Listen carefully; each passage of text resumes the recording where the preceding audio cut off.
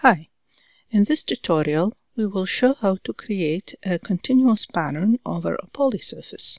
First, use projections parallel to the y-axis direction.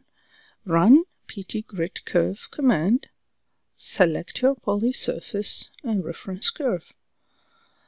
The curve options allow you to set the spacing, number of extrusions, and projection direction. You might need to adjust some of those to set the desired result. Grid options allow you to set number or spacing of points on each projected curve.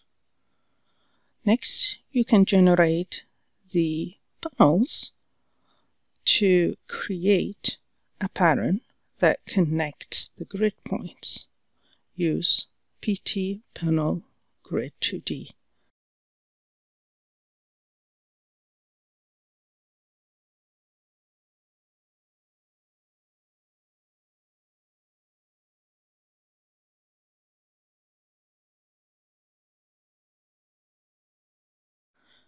Projected curves can alternatively be arranged following a polar direction.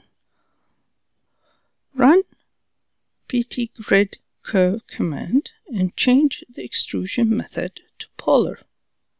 Set the angle, number of curves, and other options as needed.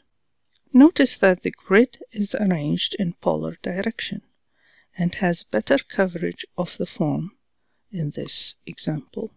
Paneling the grid with diamond pattern and curves as output generates a new paneling composition. Thank you.